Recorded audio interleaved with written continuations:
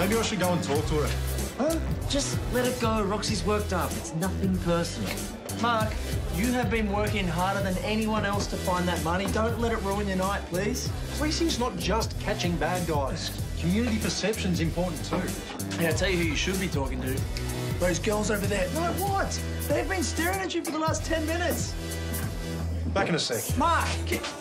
Roxy, hey, listen, I get that it's frustrating, but you need to know how much work is going on behind the scenes to catch Carly.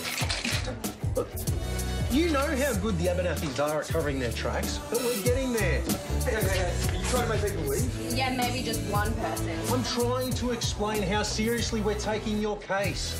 I give 100% to my job every day. Come on, bro, bro, bro, bro. Back to the party, huh? Yeah? Listen, I've been speaking to the girl. See the one on the left? She loves Back to the Future. Yeah? Plus, she also thinks that obsessive tidiness is super hot. Can't argue with the universe, bro. I wonder if she'll think a man who wets himself is super hot. Oh,